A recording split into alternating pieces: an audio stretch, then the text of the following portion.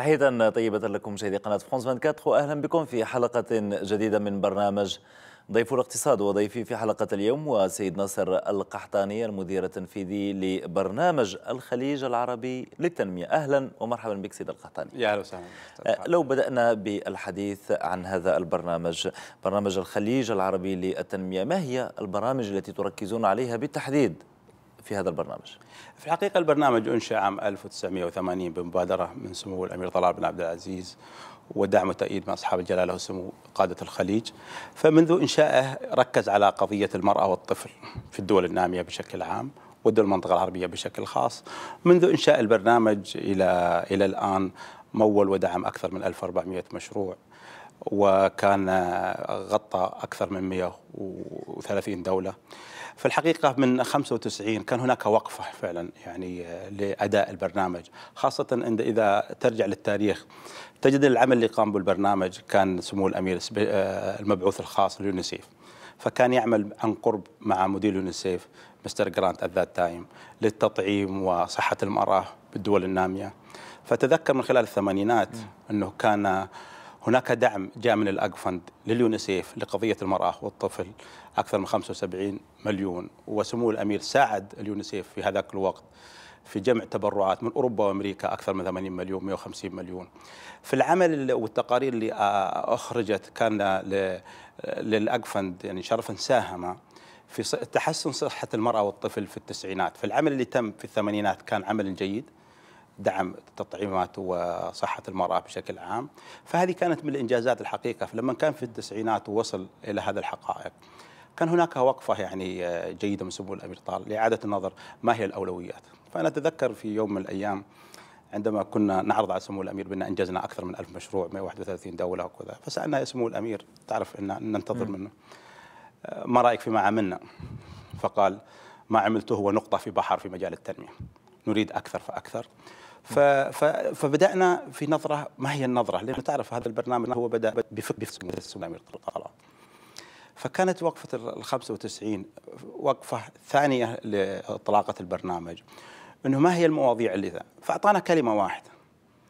قال اعملوا أي شيء ما يستطيع أحد يعمله أي شيء يستطيع أحد يعمله لا تعمله ومن هنا أصبح البرنامج يركز على خمسة محاور. وحتى يومها في 95 كان سمو الامير طلع نظرته طلع نظرته بانه الدولة التي تتقدم في هذه الخمسة محاور ممكنها الانتقال من دولة نامية إلى دولة متطورة. وهي موضوع الطفولة المبكرة رياض الأطفال وما عليه. موضوع تمكين المرأة المجتمع المدني التعليم وبشكل عام عن بعد وسواء على المستوى الابتدائي أو الجامعي. والشيء الأهم اللي هو محاربة الفقر اللي هو محاربة الفقر عن طريق ال micro finance أو ال financial inclusion. نعم. سنعود للحديث عن هذه المواضيع وغيرها بالتفصيل خلال هذا البرنامج. ولكن بالحديث عن التنمية في الخليج العربي. هذا نموذج نموذج التنمية في الخليج العربي النموذج الاقتصادي في الدول الخليج الذي يعتمد بشكل كبير على عائدات المحروقات. هل هو النموذج الذي يجب أن تتبعه هذه الدول أم ربما يجب أن تكون هناك نظرة مغايرة لما هو عليه واقع الحال اليوم؟ هو طبعا أن الحال كما تعرف يعني الثروة الحقيقية دائما هي التنمية البشرية. في في دول أصلا ما عندها ثروات ولا أصلا ما عندها ثروات ولكن عندما نمت يعني مواطنيها أصبحت دولة متقدمة وأصبحت دولة صناعية. فما يحدث الآن وتشوف الأكبر شوف بيركز عليه بيركز على طفولة مبكرة بيركز على تمكين المرأة ومشاركتها بالاقتصادات بيركز على التعليم التعليم الجامعي بشكل عام وتعليم. فهذه من المحاور اللي أصبحت الآن حتى لما ترى بدول الخليج أصبح الآن في جهود كبيرة أصبحت. من ناحية التعليم تطور والأكسس على الجامعات وفتح جامعات أكثر وإدخال القطاع الخاص. طبعا نقطة من النقاط المهمة اللي نتحدث عنها اليوم هو مساهمة القطاع الخاص في هذا النهج. يعني تجد اليوم بدول الخليج بشكل عام القطاع الخاص يلعب دور قوي في سواء كان المدارس ما قبل المدرسة أو الابتدائية أو التعليم الجامعي. فهذه من الأشياء اللي كنت أتحدث اليوم في المؤتمر عنها. إنني أقول لمن ينظر لدول الخليج ويستثمر إنه ينظرنا إنه بس استثماره في في البترول والغاز وإلى آخره بأن هناك استثمار حقيقي وعائده مستمر ولا هو في التعليم.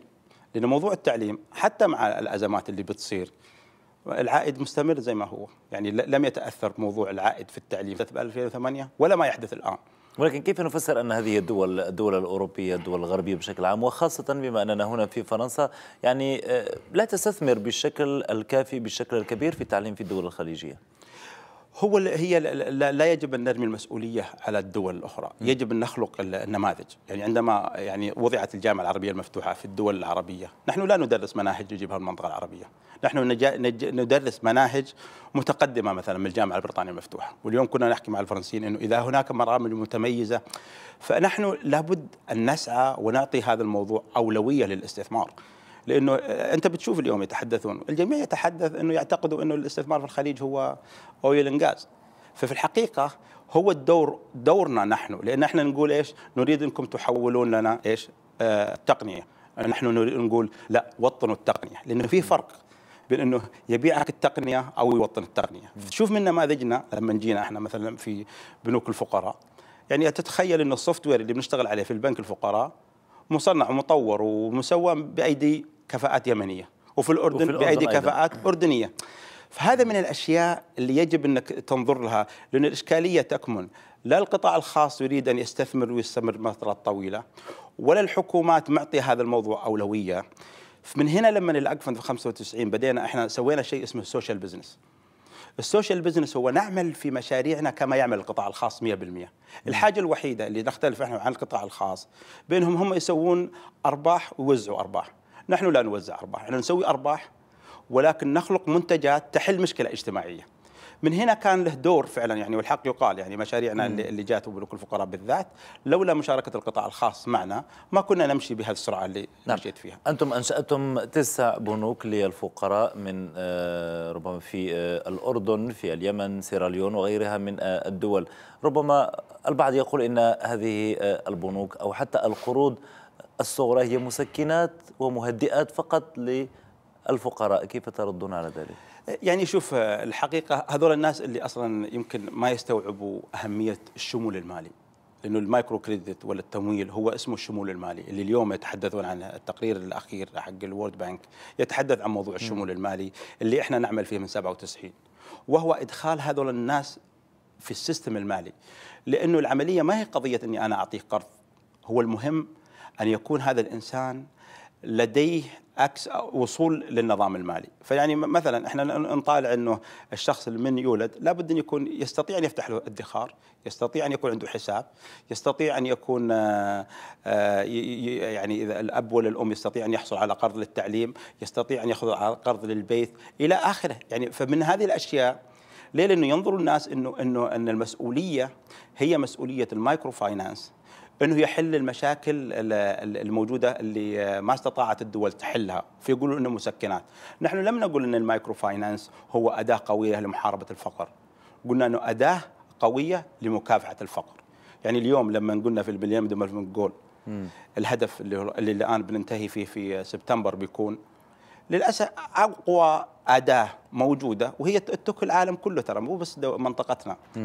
إنهم يستوعبوا أهمية ال micro finance it's too late يعني كثير من الدول استوعب أهمية ال micro finance لما بدينا من 2000 إلى إلى إلى اليوم بدأوا يعملوا فيها. في, في الهدف الآخر اللي هو اللي هو بيجي اللي هو Sustainable Development Goal اللي بيعلن في سبتمبر اللي هو إلى 2030 آه، معطي المايكرو الشمول المالي أهمية. ما بيحكي الآن micro credit ولا micro finance بيحكي الشمول المالي. الشمول المالي بشكل عام. ولكن هل هناك متابعة من طرفكم من طرف برنامج آه، الخليج العربي التنمية لهذه المشاريع آه، الصغرى لهذه القروض؟